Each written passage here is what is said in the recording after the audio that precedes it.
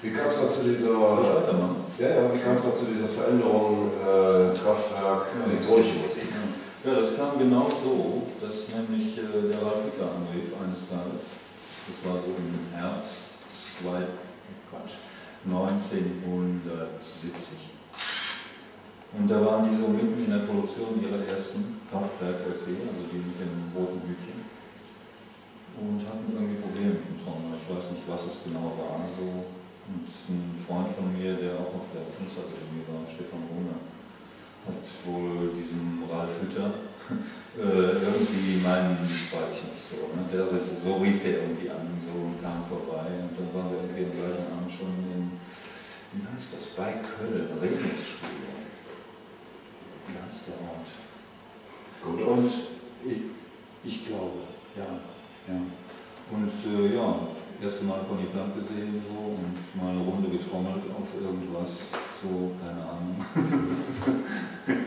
und äh, ja, war, alles war ganz gut, so Florian war nicht dabei, so Florian war im Urlaub und äh, als er zurückkam, gefiel ihm das nicht und dann musste ich irgendwie nochmal, und das war zwar im Grunde nichts anderes, aber dann war okay so und äh, ja, so ging das los. Ne?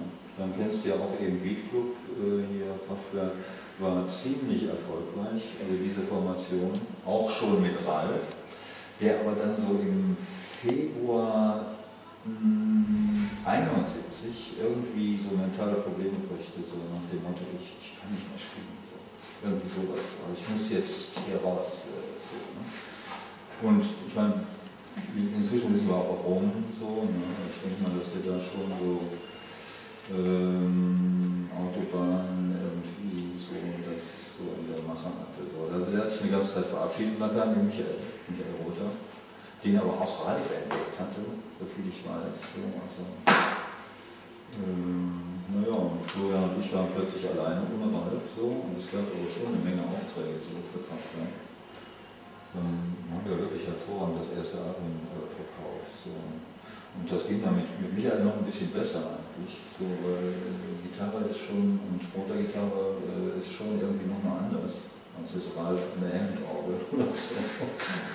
Obwohl auch, also äh, keine negative Be Bemerkung hier, die Ralf Hammond-Orgel wunderbar, so ein scheiß Schlägerstein. So.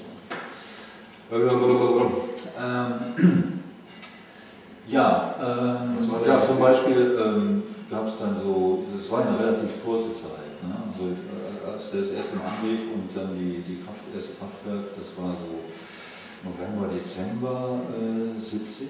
Ne? Und dann ist er Februar ausgestiegen und im Juli, August 71 war alles schon vorbei. So. ne? Und dann eben diese Formation Florian und Michael und ich, ähm, zum Beispiel mal irgendwann auch im Frühjahr so in der Kunsthalle in Düsseldorf zusammen mit so einem schwedischen Laserartisten bei uns, war sehr schön auch und eine ganze Reihe Leute auch völlig ausgeflippt, so, ne? also kein Wunder damals auch so. Mehr oder weniger hatten alle einen drin, so. Ne? Und da haben wir zum Beispiel zweimal, mussten wir anschließend nochmal die Kunsthalle, weil es war alles brechend voll auf der Platz davor. So. Und Small Faces am gleichen Tag war in der Philipshalle, glaube ich, 500 Leute oder so. Das war schon extrem erfolgreich, manchmal auch auf Festivals. Ich habe also Lou Reed weinen sehen in, in Weißbrode. Und da irgendwie die Welt nicht mehr verstanden, was da abging. So.